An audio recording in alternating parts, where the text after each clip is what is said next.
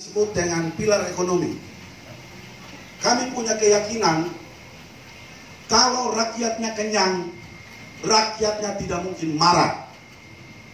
Kami punya keyakinan kalau rakyatnya tercukupi, rakyatnya pasti tenang. Kami punya keyakinan bangsa Indonesia adalah bangsa yang kaya. Kami punya keyakinan bahwa kita berlimpah susu dan madu. Masih ingat lagunya? Bukan lautan, hanya kolam susu. Apalagi selanjutnya? Tongkat dan dapat menghidupi. Kami percaya negara ini negara luar biasa. Karena itulah dibutuhkan pilar ekonomi ini. Pilar ekonomi yang diusulkan oleh Tipikor adalah pemberdayaan ekonomi keluarga sebagai satuan mikro di negara ini. Masyarakat tidak bisa lagi kita suruh, kita tidak bisa, lagi suapin. Tapi bagaimana pemerintah hadir untuk memberdayakan ekonominya dia? Jangan sampai kehadiran uh, negara lupa untuk memberdayakan ini. Saya percaya satu keluarga berhasil menuju ke keluarga sejahtera, negara ini akan menjadi negara yang besar. Jangan kita salah urus, urus yang besar lupa yang kecil. Yang kecil sudah busuk, yang besar ikut busuk. Itu pentingnya. Pilar ekonomi ini kami usulkan pembangunan dan pengembangan sentra ekonomi. Sentra ekonomi yang kami maksudkan adalah mulai dari yang mikro, dari desa. Selanjutnya, pengembangan ekonomi tidak bisa didasarkan pada planning bisnis, tapi harus didasarkan pada yang namanya sumber daya lokal. NTT gak bisa Bapak Ibu paksakan untuk jadi lahan pertanian, tapi kalau peternakan luar biasa. Di NTT Bapak Ibu lepas sapi, datang lagi dua tahun berikutnya, sapinya itu bisa 100 ekor. Cocok. Tapi orang Indonesia doyan impor sapi dari Australia dan dari India. Kalau konsep pengembangan ekonominya tepat, dengan cara yang tepat, di tempat yang tepat, dengan pengembangan yang tepat, kami percaya Indonesia akan jadi bangsa yang besar.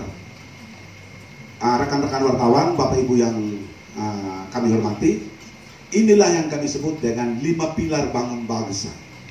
Dan lima pilar bangun bangsa ini nanti merupakan rekomendasi kami yang akan kami bukukan dan kami akan serahkan ke kementerian, ke seluruh kementerian, mungkin juga ke istana sebagai rekomendasi dari Intel Tipikor BRI untuk uh, desain dan bangun bangsa. Mungkin itu aja. Kalau ada pertanyaan dari rekan-rekan media, di sini ada papa-papa semua yang luar biasa di samping saya. Kalau bertanya tentang daerah yang luar biasa ada Pak Roji, ada Pak Pak Iman, kalau ber, ber, ber, bertanya tentang uh, penegakan hak asasi manusia, penegakan keadilan, ada panglimanya di belakang saya. Silakan rekan-rekan bertawan uh, mengajukan pertanyaan dan kami akan memberikan jawaban. Terima kasih kami persilakan.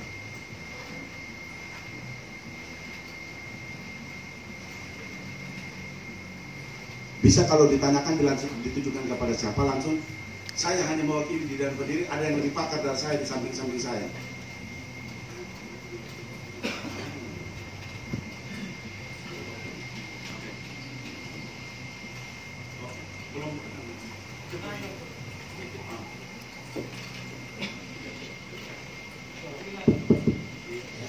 Terima kasih. Selamat atas mubesnya ya. Terima kasih. Sudah berjalan dengan baik dan lancar. Tadi saya dengar beberapa poin yang disebutkan oleh uh, pendiri ya, Ya. dari perkumpulan dan tipikor Cuma dari empat poin, eh, lima poin yang disampaikan tadi saya tidak melihat adanya uh, terciptanya hukum Ya. karena dalam masyarakat akhir-akhir ini kan banyak cenderung itu yang dituntut oleh mereka gitu. artinya ekonomi ekonomi bangun secara besar tapi keadilannya seperti apa Oke. kemudian ada pelanggaran-pelanggaran hukum yang artinya merata hampir ke semua rakyat Indonesia ini akan dibentuk seperti apa Oke. melalui uh, Intel Tipikor PHN terima kasih Terima kasih. Saya jawab dulu ya. Minta maaf sebenarnya tadi lima pilar yang saya baca empat. Kebetulan saya nggak bawa kacamata memang makanya saya agak apa kelihatan. Oke, itu yang kami sebutkan itu pilar hukum dan hak asasi manusia pilar yang kelima. Pilar hukum dan hak, asasi manusia adalah mewujudkan hukum yang berkeadilan. Yang disebut hukum berkeadilan dalam perspektif kami adalah adanya kesamaan di mata hukum. Hukum tidak tajam ke bawah saja, tapi hukum tajam ke bawah juga tajam ke atas.